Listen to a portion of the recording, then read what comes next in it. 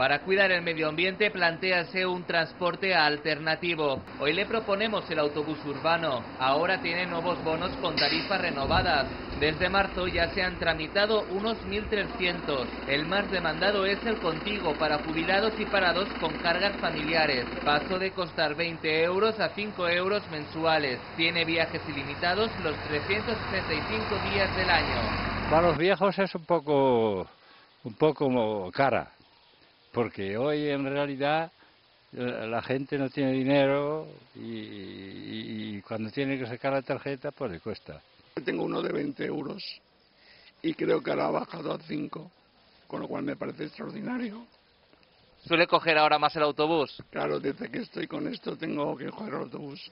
Tal es el éxito del bono contigo que desde que se creó hace dos meses se han vendido unos 20 de media al día. Otro de los bonos más solicitados es el joven 30 días, que tiene un coste de 10 euros por 30 días de viajes ilimitados.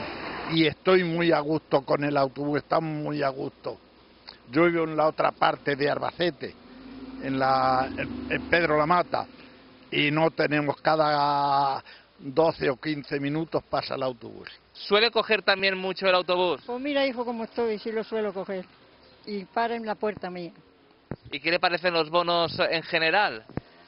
Pues que viene muy bien para la gente joven y para los mayores.